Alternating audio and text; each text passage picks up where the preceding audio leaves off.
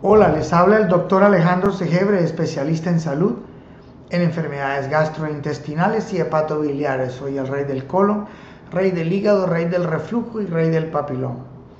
La tos crónica del fumador. El fumador de cigarrillo siempre tiene tos, siempre tiene una, una bronquitis crónica, siempre tiene una inflamación bronquial constante debido a esa agresión que tú le estás causando a ese cuerpo, a ese epitelio bronquial por el humo del cigarrillo. Tú sabes que cuando tú prendes el cigarrillo y lo aspiras, tú estás metiendo un producto que se genera por la combustión, o sea, al quemar en la hoja del tabaco y todos los químicos, entonces hay brea, hay alquitrán, hay monóxido de carbono, que es uno de los venenos más peligrosos que hay porque prácticamente el monóxido de carbono atrapa el oxígeno y no lo deja liberar hacia las células. Entonces tú te vas muriendo en vida, lentamente, vas matando a las células, las vas oxidando. Bueno, entonces,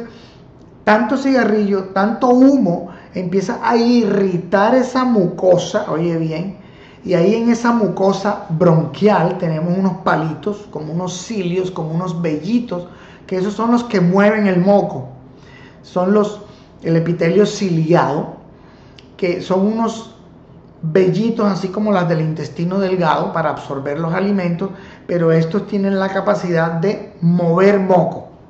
de hacer que el moco que fluya a lo largo de los bronquios para eliminar y drenar el polvo, las toxinas y todos los venenos y todas las toxinas pues, que cogemos del medio ambiente y las de los alimentos también. Entonces, estos vellitos que se llaman cilios,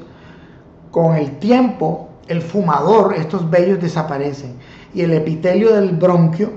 se desaparece. De tanta inflamación, de tanta agresión por tanto monóxido de carbono, tanto calor de ese cigarrillo, esa irritación por tanta eh, alquitrán, brea, nicotina, entonces, esa irritación constante ahí, todo el tiempo, es lo que hace que el epitelio cambie a un epitelio pavimentoso, como una calle. Así como el epitelio de la piel, que es un epitelio plano, queratinizado prácticamente, que no tiene cilios. Entonces el moco no se mueve, el moco se estanca, se impacta, entonces tú estás más propenso a las infecciones.